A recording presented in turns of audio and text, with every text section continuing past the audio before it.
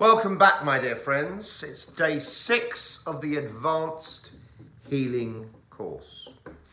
And uh, the, this is the lectures on the rays. I'm doing a small lecture of half an hour or so on each of the divine primordial rays. Now, so far we have covered the red ray of divine will, overlit by El Morya, the blue ray of divine love, overlit by Lord Kuthumi, the yellow or golden ray of creative intelligence, overlit by Master Hilarion.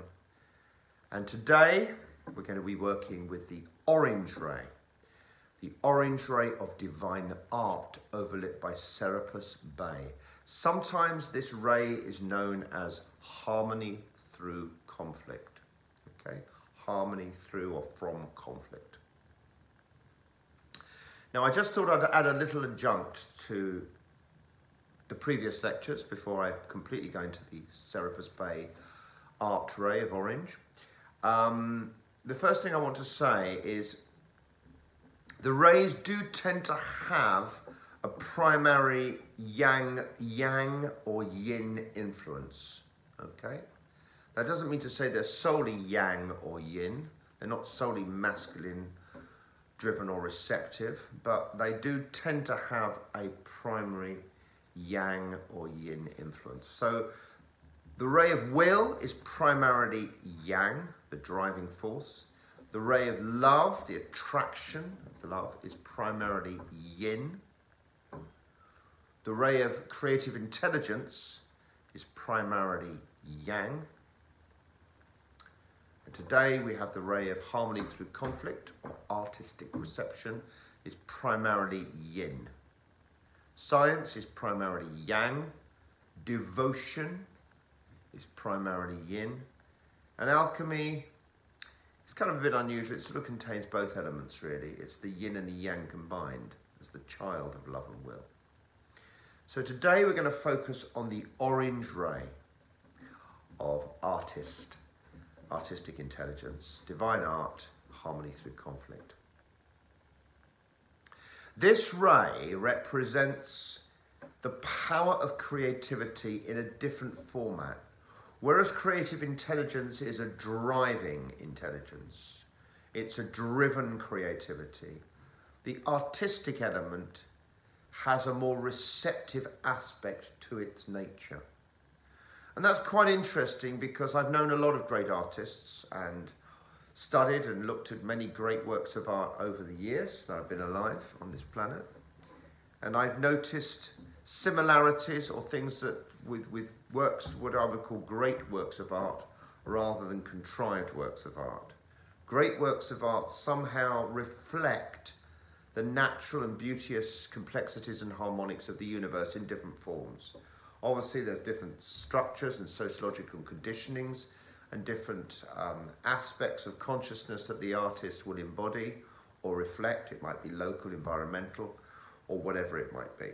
Um, nonetheless, it does tend that the works which, which, which go beyond the immediate fashions and fads of the day, works that have an eternal nature, um, tend to be received works. Received is the key for artistic intelligence, artistic um, divine art and, and harmony through conflict. It's the idea of opening ourselves to receive the beauty and harmonics of the universe. So it's less about the co creator aspect than creative intelligence, although there is a yin creative aspect to it. It's different in nature to the yang creative aspect of creative intelligence from my um, from my experience and, and working and channeled ideas of the rays. So when we work with this ray, the orange ray of Serapis Bey, we are opening ourselves up to that which is beyond the cognitive mind. We're opening ourselves up to imagery and ideas and the infinite flow powering through us to reveal beauty and magnificence. And furthermore, when we open ourselves in receptive nature to such, we may find that the conflicting disparities of our own temporal vision, the dissonance and perhaps separation complexes which we suffer from, can, by the nature of this opening, by the nature of this reception, be harmonized, be recalibrated, be reformed from the man of clay, the man of gold may appear, or the woman of gold. This is the metaphor. The idea that the fire from heaven, the beauteous, magnificent cosmic rays of energy, when they permeate into this lowered viscosity of this dimension, into this man of earth, this woman of earth, that the earth becomes a light and becomes a picture of the infinite. It can hold within a tear the beauty of the eternal. Our great poets, our great painters, our great artists understood this and often experienced something they call divine madness. Artists are often known to be a little bit crazy and off the ball, and that's because they're receiving that power of the infinite. Uh, and and it is in many ways so well it is in stark contrast to the limitations that we often find on this planet and if anybody is having has neurosis and doesn't have a way to deal with that then when energy comes in if it's not properly managed um, you know it can magnify the neurosis or can certainly facilitate a healing a crisis or, transition which temporarily may challenge us very much. And artists that like to push the boundaries have often found those issues in them. And it is interesting that many artists display elements which some people now call bipolar or uh, they may have psychotic energies within them um, or they may find they are very much on the edge of sociological acceptance they often breach protocols because the nature of the infinite transcends our own constructs, our own beliefs, our own natures um, within the frameworks of our own programming. So the artistic reception will unlock linear programs because the nature of the artistic ray is, like the nature of all the rays, is non-linear but perhaps more so in some ways than the others, in the sense that it is a purer reflection, the pure, true nature of the artistic ray is the pure brilliance of the fractalization of the cosmic intelligence, which is, my friends, deeply imbued with mystery and beauty.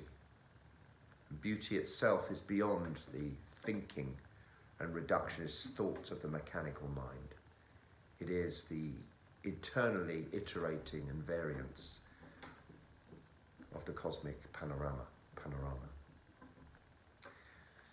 Without sounding too poetic, because I want to be practical with this, this ray does enable us to open ourselves up to that which is beyond the physical mind or the temporal mind. And that can be only a good thing if it's managed effectively. I will say this again to everybody. The rays are very powerful.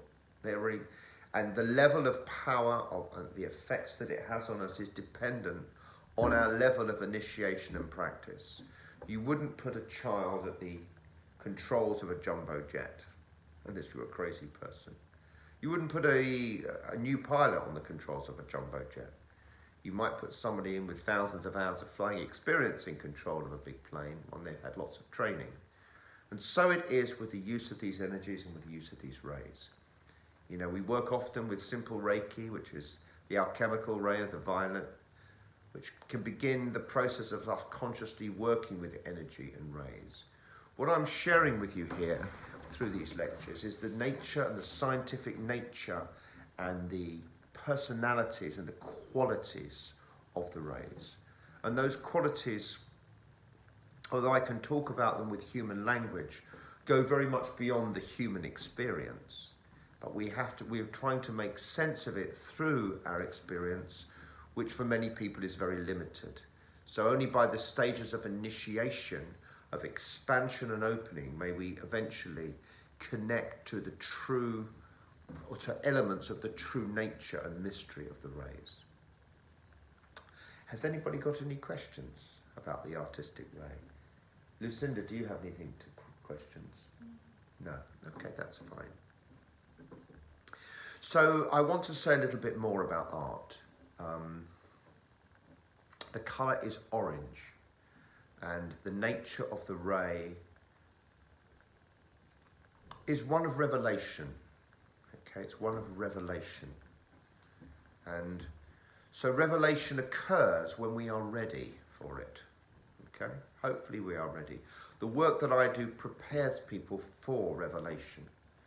And in the word initiation comes from the Latin word initia, which means to begin.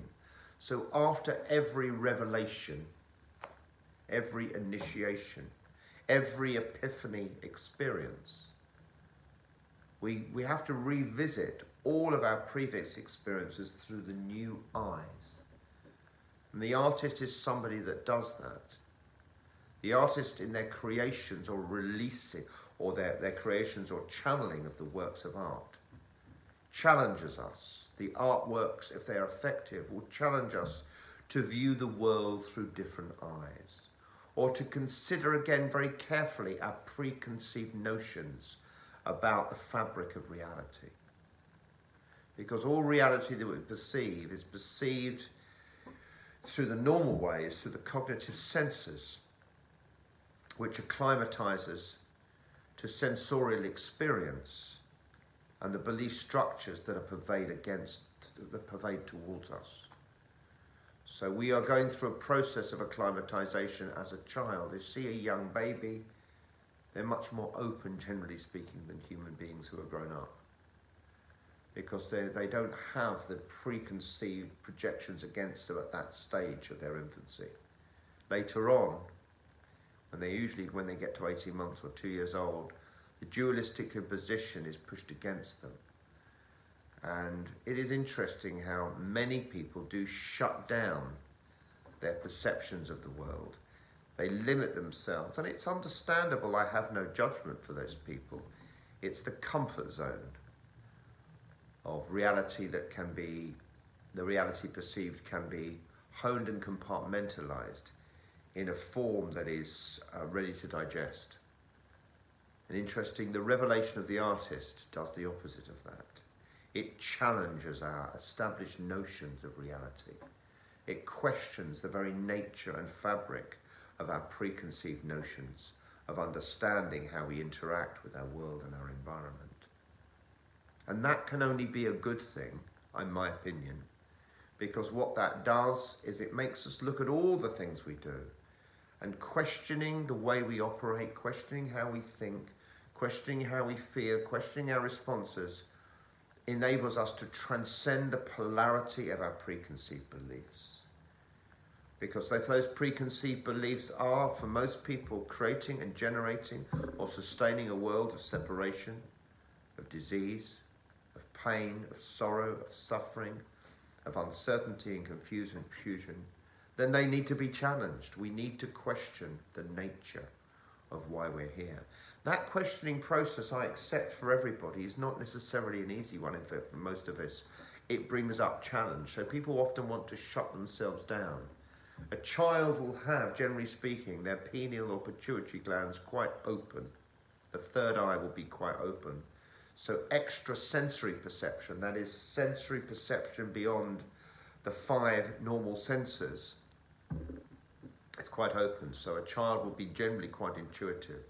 Yet very often, the peer pressure, the pressure to conform to a world with expectation, the pressure of parents, of society, of schools, of employees, of friends, etc., is very strong and pervasive.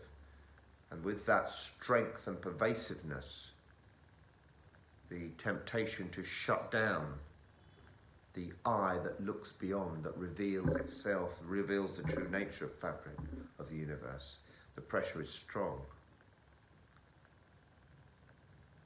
Yet those who take this path of initiation, those who decide that they want to see more, that they want to prepare for the true challenges of the universe, are very often the artists, the mavericks, the eccentrics, the whimsical ones, who often dress with style that is perhaps a little bit off kilter to the established, homogenized uniform of society. And that's why artists are often considered left field, unusual, different, uh, and from my experience, you know, invariably maverick and eccentric. But that's fine because they're representing on the exterior the inner nature of the ray that reveals actually the depths of complexity of this universe.